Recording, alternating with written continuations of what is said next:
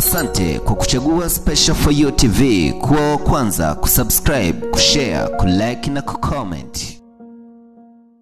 E Bwana, mambo vipi? Nakushukuru sana kuwa karibu na Special For You TV na kuomba usisahau kusubscribe, touch alama nyekundu hapo chini, utakuwa umesubscribe, lakini ukitouch alama ya kengele pia utakuwa unapata post notification. Leo kwa mara ya kwanza kabisa na kuletea utofauti baina ya viwanja viwili vya mpira vya michezo, yani inamaanisha kutoka nchini Tanzania na kuletea uh, National Stadium Tanzania ama almaarufu kama Mkapa Stadium, na kutoka Kenya na kuletea Moi International Sports Center almaarufu kama Kasarani Stadium. Leo ni viwanja viwili bwana, ni mpambano mmoja mzito sana, baada ya watu wengi kuzungumzia sana kuhusiana na viwanja hivi. Nchi hizi mbili zimekuwa na purukushani za hapa na pale, watu wengi wamekuwa wakidiskasi sana, wakisema uwanja wa Tanzania ni mzuri kuliko wa Kenya, lakini wengine wakisema uwanja wa Kenya ni mzuri kuliko uwanja wa Tanzania. Leo nani ni nani na tutaweza kuyazungumzia hapa. Kwa taarifa ambazo tumezipata, tumeweza kutafuta huku na kule, tukaweza kuweza kuzungumza, tuweze kupata, je, ni ukweli Tanzania ni uwanja mzuri ama Kenya ni uwanja mzuri? Basi wacha nivizungumzie viwanja hivyo, tukianza na kiwanja cha Benjamin William Mkapa ama kiwanja cha Mkapa ama National Stadium of Tanzania ambacho chenyewe kinachezewa michezo yote pale, ni multipurpose as you know, na watu wengi nadhani mnaufahamu uwanja wa Mkapa ambao ni uwanja mkubwa sana. Uwanja huo unamilikiwa na serikali ya Tanzania ambayo ndio iliujenga uwanja huo kuanzia elfu mbili na tatu mpaka elfu mbili na saba uwanja huo ukafunguliwa, lakini wanaongoza uwanja huo ama ambao wameushikilia na kuweza kuuendesha ni TFF, yani Tanzania Football Federation, na uwezo wa uwanja huo una uwezo wa kubeba watu elfu sitini. Uh, watu wanaweza kujaa, yani wakijaa kabisa mule. Ni watu elfu sitini. I mean, si kwamba waliosimama pia, hapa tunazungumzia viti vile, yani watu wakiwa wamekaa mmoja baada ya mwingine kwenye viti, wana uwezo wa kubeba watu elfu sitini, lakini saizi yake ni 105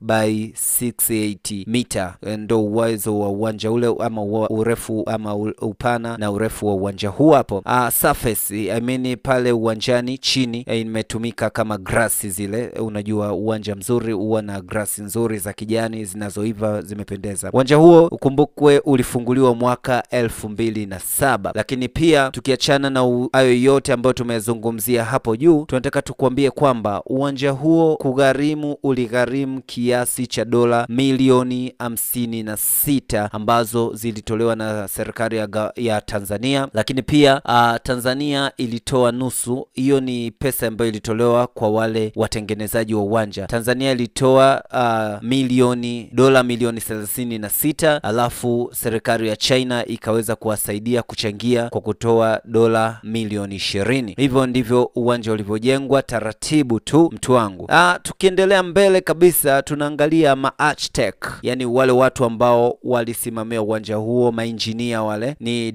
WMS Architects kutoka South Africa, lakini main contractors ni Beijing Constructions Engineering Group, hao ndio waliosimamia uwanja huo. Lakini katika uwanja huu hapo pia wenyewe umerentishwa, yani ni uwanja ambao uko chini ya timu mbili za mpira wa miguu, Tanzania National Football Team ambayo ni Simba Sports Club pamoja na Young African FC, ndizo zimezokodisha uwanja huo hapo kwa michezo yoyote ambao wanaweza wakahitaji, labda Yanga anataka kucheza labda na Burundi, wanaweza wakawaita hapo. Timu yoyote ya Burundi ama kutoka taifa lolote la uh, nje ya Tanzania na wakaweza kucheza nao. So now we know kuhusiana na uwanja huo wa taifa wa Tanzania ambao ni uwanja mkubwa kabisa, lakini uwanja huo kumbukwe, ulijengwa na aliyekuwa rais wa Tanzania, lakini uwanja huo kumbukwe, ulikuwa ni idea ya aliyekuwa rais wa Tanzania ambaye ni hayati Benjamin William Mkapa, lakini uwanja huo umepitia mambo mengi sana. Kuna baadhi ya tenda baada ya kutangazwa elfu mbili na tatu uh, baadhi baadhi ya watu walijitokeza sana kuweza kutaka uh, kuchukua tenda hii hapo, lakini mwisho wa siku iliweza kuchukua hiyo Beijing Construction Engineering uh, Group, ambapo wale wengine ambao walikuwa ni wa French wale walitaka dola milioni mia moja hamsini na nne lakini ikaonekana kwamba hapana, kwa nini tuwapatie wao wakati pesa wanazohitaji ni nyingi. Huo ni uwanja wa Tanzania kama unavyouona mtu wangu, ni uwanja mzuri, uwanja mkubwa, alafu uwanja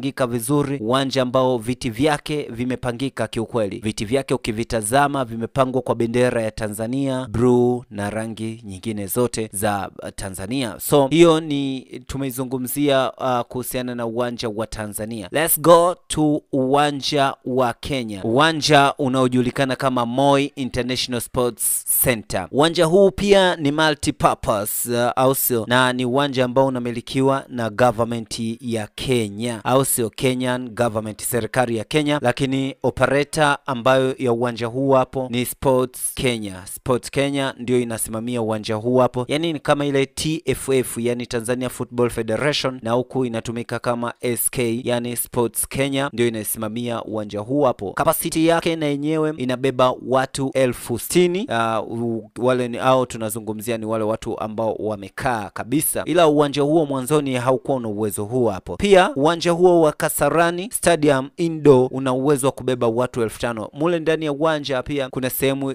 ni uh, indoor ambapo kuna michezo tofauti tofauti, lakini pia kuna competition pool ambapo ni uwa, kiwanja kidogo kipo kwa nje, kile kinaweza kubeba pia watu elfu tano wakiwa wanatazama mashindano ya kuogelea. Lakini surface, yani uwanja ule mwonekano wake wa chini ni grass kama ilivyokuwa uwanja wa Tanzania National Stadium ama Mkapa uh, Stadium. Ni uwanja ambao ulijengwa mwaka 1987 na, kukami, na kufunguliwa mwaka 1987. Uwanja ulijengwa kwa muda wa mwaka mmoja, means ulikuwa ni uwanja tu wa kawaida mdogo tu, lakini baada ya hapo 2010 Januari uwanja huo ulifanyiwa renovation, yani matengenezo mapya, na ulifanyiwa kwa kutumia shilingi ama Kenya shillings milioni mia tisa ambao watu waliofanya hiyo renovation ni Shengling Engineering Construction Company Limited ndio waliofanya uh, renovation ya uwanja huu hapo. Uh, main contractor ni hao, alafu pia tenant wa uwanja huu hapo ni Kenya National uh, Football Team ambayo uh, ni timu ya Mathare United, Tusker na Athletics Kenya. Hizo ndizo timu ambazo zimekodisha, lakini tukirudi ndani kabisa katika uwanja huo wa Kasarani Stadium almaarufu, lakini pia jina lake kamili ni MISCC, yani Moi International Sports Center ama Kasarani.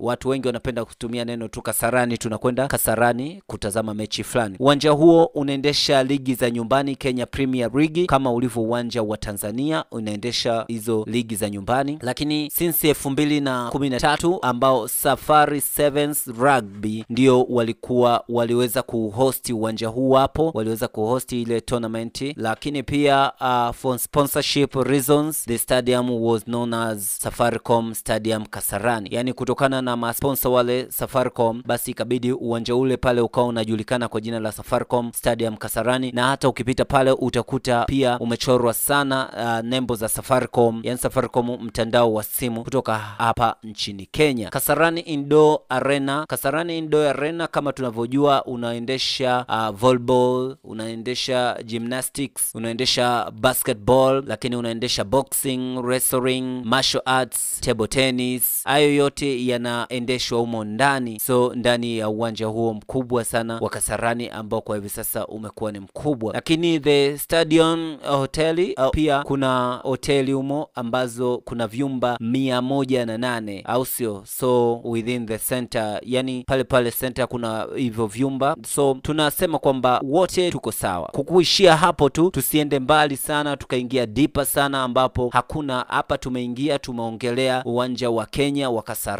lakini pia tumeweza kuongelea uwanja wa Tanzania ambao unajulikana kama Mkapa Stadium. Wapi maoni yako kwa kile ambacho umekisikia kutokea hapa Special for You TV? Uwanja wa Kasarani wenyewe upo barabara ya Thika, ambayo barabara ile Thika Highway ambayo inaelekea kule Thika, lakini pia uwanja wa Tanzania wenyewe uko Taifa Road, ambapo ni karibu kule na Kurasini ama upo kule Kurasini station, so ni vitu kama hivyo hapo karibu kabisa, ni 4 km kilometers kutoka Kurasini pale. Sasa wewe mtu wangu, mimi nasema kwamba kukukaribisha Special for You TV ni kutaka wewe uweze kupata vitu vizuri. Kusubscribe ndo kitu cha msingi kwa kile ambacho umekisikia. Wewe unadhani uwanja upi ni beta? Wote uwanja huu umejengwa na Wachina. Uwanja wa Kenya umejengwa na Wachina, uwanja wa Tanzania umejengwa na Wachina. Yote hayo yametokea ya baada ya watu kuzungumza sana, kusema kwamba uwanja fulani ni mkali kuliko uwanja mwingine, lakini nikasema special. Acha nikuletee kitu ambacho na wewe utakiona. Nadhani kupitia videos umeona, kupitia pictures umeona uwanja huu wa Kasarani na uwanja huu wa Benjamin William Mkapa ama Mkapa Stadium, upi ni uwanja mkali kwa maoni yako? Kwa upande wangu mimi nasema pote ni East Africa, pote ni nyumbani tu. Mimi napenda Kenya, napenda Tanzania, kote ni nyumbani. Tusiweke ushindani wa ubaya, bali tuweke ushindani wa kimaendeleo. MISCC